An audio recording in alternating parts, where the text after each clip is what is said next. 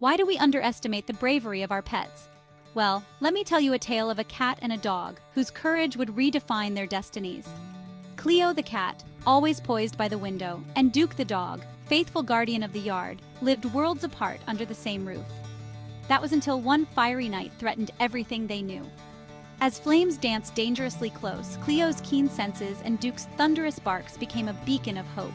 Together, they roused their sleeping family, barking and meowing vehemently until everyone was safe outside. But the story doesn't end there. After the fire trucks left and the smoke cleared, something beautiful happened. Those moments of fear turned into a lifetime of friendship. Cleo and Duke, once mere housemates, now shared everything from sunny naps to playful afternoons. Their tale is not just about survival, but about finding unity in unexpected places. Through bravery and loyalty, they not only saved their family but also discovered a profound bond, showing us all that adversity can bring out the best in us and sometimes in each other.